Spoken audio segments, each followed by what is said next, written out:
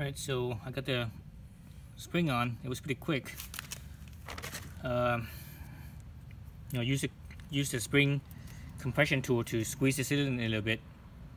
You uh, loosen this bolt up, then the whole thing will come apart.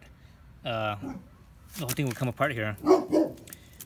And basically just put the new spring in and actually also put the new the new uh, bump stop. This is the this is the original one.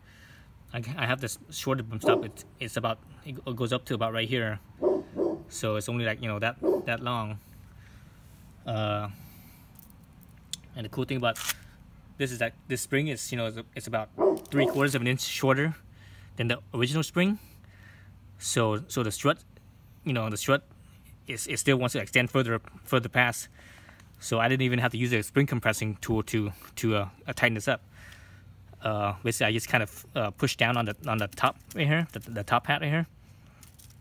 Uh, have a little stick out of the uh, of the end here, and I was able to get the nut on. The once the nut was on, I basically just used a five millimeter Allen to hold it. Then I would tighten this up, and that was it. And this is 20 foot pounds, and that was it. I didn't even have to use the spring compression tool. Okay. So uh, so I got that in. So let's uh, oops, oops, oops. My gimbal's not on. Turn on the gimbal.